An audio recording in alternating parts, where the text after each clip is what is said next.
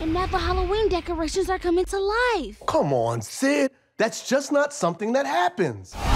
Yo! What's wrong with you? Why would you do that? I am so sorry. But baby, I, I know. Shh, shh, shh, shh.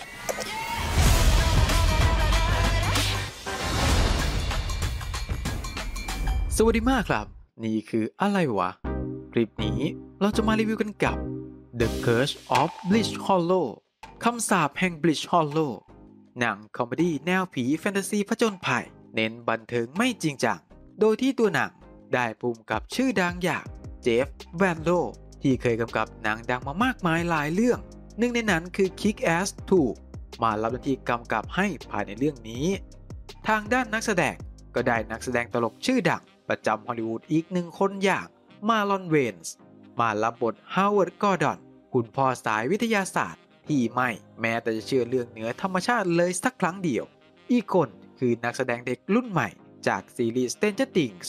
ปลายอาร์เฟอร์กูสันมารับทซิดนีย์กอร์ดอนเด็กมัธยมปลายที่พยายามอย่างหนัก เพื่อที่จะหลุดพ้นจากการควบคุมของพ่อ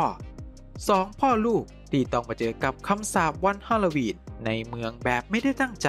นำมาสู่การผจญภัยที่สามารถดูฆ่าเวลา และเอาบันเทิงได้แบบสบายๆ ตลอดตั้งแต่ต้นจนจบ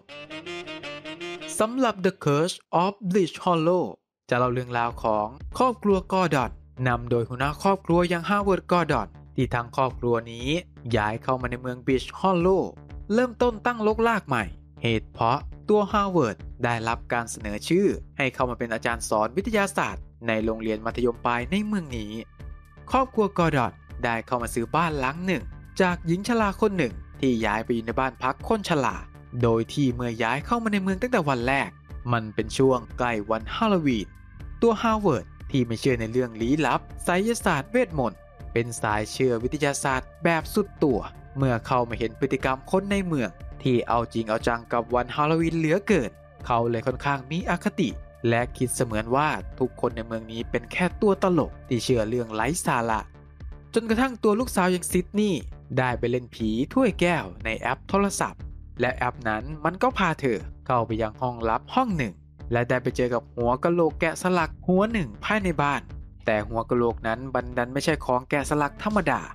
เพราะในนั้นมันดันกักขังวิญญาณร้ายเอาไว้ ทันทีที่มันถูกเปิดในวันฮาโลวีน วิญญาณร้ายในนั้นหลุดออกมาแล้วเข้าสิงตุ๊กตารวมถึงรูปปั้นต่างๆ ในวันงานฮาโลวีน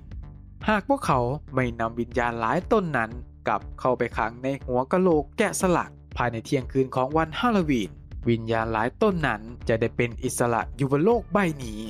Sydney รวมถึงคุณพ่อ Gordon ที่ไม่แม้แต่จะเชื่อสิ่งเหนือธรรมชาติ เลยต้องหาวิธีร่วมมือกัน จับวิญญาณร้ายนั้นกลับมาขังในหัวกะโหลกแกะสลักเช่นเดิม เรื่องราวจะจบลงยังไงสองพ่อลูกจะทำภารกิจสำเร็จหรือไม่ภายในวันฮาโลวีน1ชั่วโมงกับอีก 29 นาที นี่คือหนังคอมเมดี้ที่สามารถดูฆ่าเวลาได้ แบบที่ไม่ต้องคิดอะไรให้เปลืองสมองเลยครับ ครับนี่คือหนังของ Netflix ที่เป็นหนังคอมเมดี้อีกหนึ่งครั้ง ที่ในครั้งนี้กลับมากับ หนังที่เน้นบันเทิงโดยเฉพาะ เป็นหนังสไตล์ฮาโลวีนแบบเด็กๆ ไม่มีความจริงจังอะไรร้อยเปอร์เซ็นต์กะทำมาเพื่อให้คนดูดูฆ่าเวลาเท่านั้น ซึ่งหนังมันก็สร้างความบันเทิงได้ในระดับที่น่าพอใจอยู่ครับ แน่นอนว่าเนื้อเรื่องไม่ได้ซับซ้อน แค่ดำเนินเรื่องแบบ 1 2 3 ไล่ไปเรื่อยๆ จนจบ ไม่ต้องคิดอะไรมากมาย และเรื่องราวทั้งหมดอย่างที่ว่าไปตั้งแต่ต้นจนจบ เกิดขึ้นภายในคืนคืนเดียว เป็นหนังสไตล์คลาสสิกที่ผมรับรองได้เลยว่า คนที่เคยดูหนังมาหลายเรื่องหลายแนวพอสมควร ต้องคุ้นกับสไตล์การทำหนังแบบนี้ อย่างแน่นอนครับ ตัวหนังเป็นหนังที่พอตเรื่องง่าย ๆ หนังแบบเด็กๆเบาสมอง แบบที่ไม่ได้คิดอะไรมากอย่างที่บอกไป ไม่ได้มีดราม่าลึกซึ้งครับตลอดเรื่อง ฉะนั้นสายที่ไม่ชอบดราม่าเรื่องนี้มันจะดีสำหรับคุณมากๆที่เดียวดำเนินเรื่องแบบเป็นสูตรสำเร็จ นางเอกของเรื่องคือตัวซิดนีย์ที่รับบทโดยปลายอาอย่างที่บอกไป ที่เธอคนนี้ดันไปเผลอปลดปล่อยคำสาปให้หลุดออกมาภายในวันฮาโลวีน โดยคำสาปที่ว่ามันก็จะเหมือนกับเชื้อไวรัส ที่เข้าไปสิงตามหุ่นต่างๆทำให้หุ่นเหล่านั้นกลับมามีชีวิตอีกครั้ง และเป็นเหมือนกับปีศาจในวันฮาโลวีน จากนั้นสองพ่อลูกที่อยู่ในเหตุการณ์เดียวกัน ก็จะร่วมช่วยกันกับเด็กอีกประมาณ 2-3 คน ในการกำจัดปีศาจหรือคำสาปที่หลุดออกมา ประมาณว่าเป็นหนังสำหรับเด็กดำเนินเรื่องโดยเด็กเป็นส่วนใหญ่ และเรื่องนี้ก็จัดอยู่ในเลท PG 13 ฉะนั้นแน่นอนครับ นี่คือหนังครอบครัวสำหรับคนดูที่อายุยังไม่มาก เรื่องนี้คงต้องถูกใจสายเด็กที่เดียวครับ แต่สำหรับใครที่เป็นผู้ใหญ่ ผมว่าเรื่องนี้คงไม่เหมาะกับคุณเท่าไหร่ครับเพราะเรื่องเนื้อเรื่อง หรืออะไรต่างๆ ภายในเรื่องมันค่อนข้างเด็กจริง ๆ ถูกแก้ง่าย ๆ ถูกจัดการง่าย ๆ แบบที่แทบไม่ต้องใช้ความสามารถอะไร ฉะนั้นไม่แนะนำสำหรับผู้ใหญ่ที่หาหนังจริงจังดูอยู่ ข้ามได้เลยครับสำหรับเรื่องนี้ ในเรื่องมีการพยายามหาเหตุผลทางวิทยาศาสตร์ มาอธิบายหลาย ๆ อย่างดำเนินเรื่องโดยคนเป็นพ่ออย่าง Gordon และหลายครั้งก็แอบเป็นมุกที่ฮาเล็ก ๆ ที่เขาช่วยเพิ่มสีสันให้กับตัวภาพยนตร์ ให้คนดูได้ยิ้มได้หัวเราะบ้างนิดหน่อย แต่ก็ไม่ได้มากมายอะไรครับ และถึงจะบอกว่าหนังเรื่องนี้เป็นหนังคอมเมดี้ แต่ก็ไม่ใช่หนังคอมเมดี้ประเภทฮาหลุดโลก บ้าบอคอแตกแบบไม่สนใจอะไร คอมเมดี้ที่ว่ามันแค่ทำให้คุณยิ้มทำให้คุณดูได้เพลินๆ ฉะนั้นอีกหนึ่งอย่างนี่ไม่ใช่หนังตลกแบบร้อยเปอร์เซ็นต์นะครับ ในเรื่องแอบมีการแทรกแนวคิดคำสอนของครอบครัว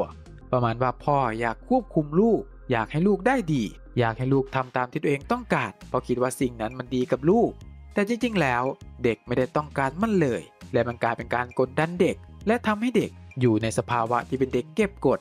ในเรื่องนี้ก็แอบมีปมเหล่านั้น สอดแทรกเอาไว้ด้วยครับ เป็นการสอนคนดูใกล้ๆฉะนั้นนี่ผมจึงบอกว่ามันเป็นหนังสำหรับดูทั้งครอบครัวจริง ๆ แต่ก็ไม่ได้เยอะครับ ปมไม่ใหญ่อะไรมากมาย สามารถแก้ไขได้ ผ่านตัวละครพูดคุยกันเท่านั้น ไม่ได้เน้นอะไรจริงจังในเรื่องนี้ แต่ให้ความสำคัญกับคำสาปและวิญญาณหลายที่หลุดออกมาซะมากกว่า จุดเด่นอีกหนึ่งอย่างสำหรับเรื่องนี้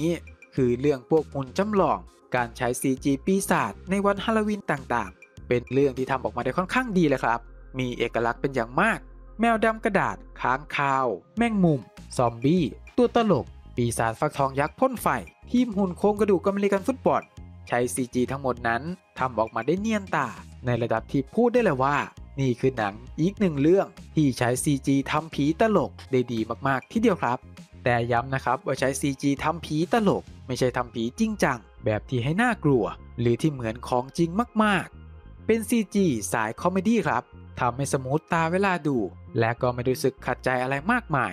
ถือว่าผ่านครับสำหรับ CG ในหนังคอมเมดี้แบบนี้ ส่วนตัวปีศาจในเรื่อง ตัวร้ายในเรื่อง ก็ไม่ใช่ปีศาจประเภทจริงจังอะไรไล่ฆ่าคนแบบจริงจัง ไม่ใช่แบบนั้นแน่นอน เป็นปีศาจที่มีหน้าที่แค่เดินไปเดินมา สามารถจัดการได้ผ่านการชกต่อยทุบตีประมาณว่าเด็กก็สามารถจัดการได้ ไม่ได้ทำให้น่ากลัว สไตล์หนังคอมเมดี้แบบเด็กๆล่ะครับ ถือว่าสอบผ่านแน่นอนสำหรับงานดีไซน์ ทั้งตัวผีและหุ่นจำลองต่างๆ ตัวนักแสดงนำที่น่าจะเป็นแกนหลักของเรื่องทั้งสองคน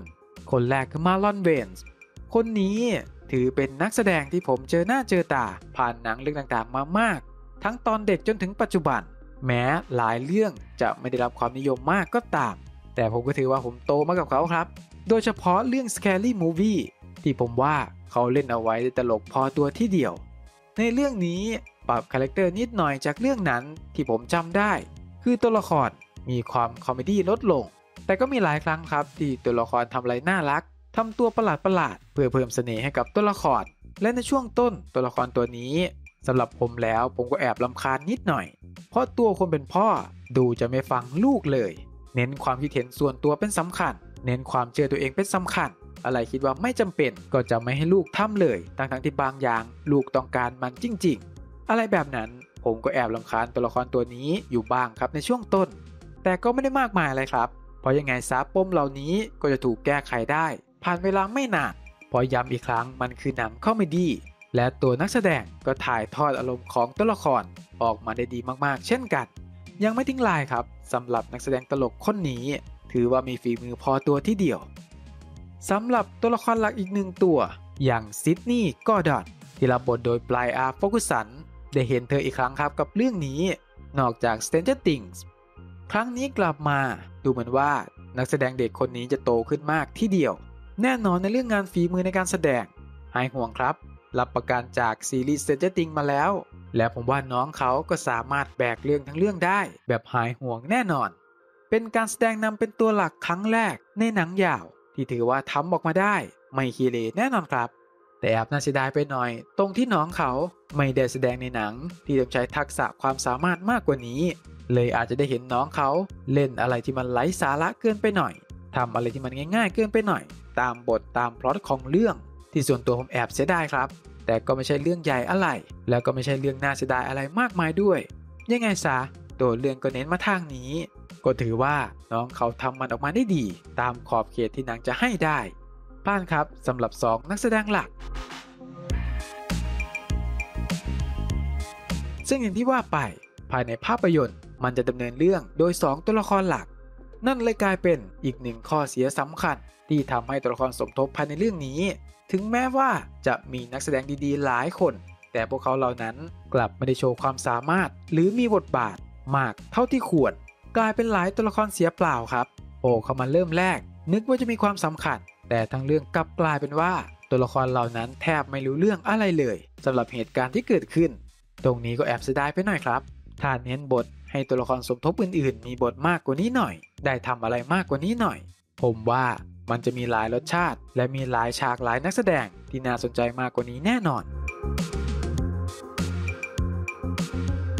อีกหนึ่งข้อเสียของเรื่องก็คือบทครับ บทที่มันเรียบง่ายเกินไป ตรงไปตรงมา ไม่ต้องคิดอะไรมาก ย่อยง่าย ๆ ซึ่งจะบอกว่าเป็นข้อเสียก็พูดได้ซะไม่เต็มปาก เพราะแน่นอนหนังเรื่องนี้เลดมันสำหรับดูในครอบครัว การทำให้ย่อยง่ายดูง่าย ก็ถือเป็นอีกหนึ่งปัจจัยสำคัญที่ทำให้เด็กชอบ แต่ก็นั่นแหละครับ การทำให้เด็กชอบ มันเลยส่งผลให้เมื่อผู้ใหญ่มาดูหนังเรื่องนี้ก็จะกลายเป็นแค่หนังที่ทำมาสำหรับเด็กเท่านั้นพราะมันตรงไปตรงมาจริงๆพอดตามสูตรเป๊ะๆแบบที่ไม่มีอะไรให้หักมุม หรือมีอะไรเซอร์ไพรส์ภายในเรื่องเลย ฉะนั้นสำหรับผู้ใหญ่ที่เข้ามาดู ก็คิดซะว่าคุณเข้ามาดูเรื่องนี้เพื่อดูค่าเวลา หรือดูเอาเพลินๆเท่านั้นนะครับ อย่าได้จริงจังกับมันเด็ดขาด เพราะคุณจะไม่ได้อะไรเหล่านั้นแน่นอน ครับ และสำหรับ The Curse of Bridge Hollow คำสาปแห่ง Bridge Hollow ภาพยนตร์คอมเมดี้แฟนตาซีสไตล์ผจญภัย original ของ Netflix เรื่องนี้ ถ้าเราจะต้องให้คะแนน เราขออนุญาตให้อยู่ที่ 6.5 คะแนนครับ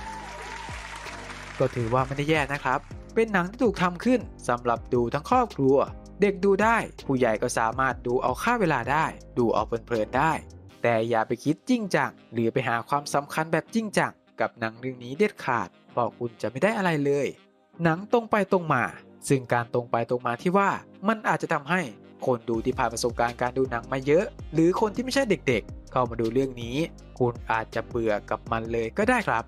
มุกตลกหลายครั้ง ก็แอบดูไม่ค่อยขำ แต่ก็สามารถพอให้ยิ้มได้ ซึ่งส่วนตัวผมไม่ได้แย่อะไรครับ ผมสามารถดูได้ตั้งแต่ต้นจนจบ แบบที่ไม่ได้รู้สึกกระอักกระอ่วนได้ใดและผมว่าคนที่เข้ามาเพื่อหาความบันเทิงเท่านั้น เรื่องนี้จะสามารถตอบโจทย์คุณได้แน่นอนครับ เพียง 1 ชั่วโมงกับอีก 29 นาทีเท่านั้น มีภาคไทยด้วยนะครับใน Netflix คนที่ดูมาแล้วคิดเห็นยังไง ชอบมันไหม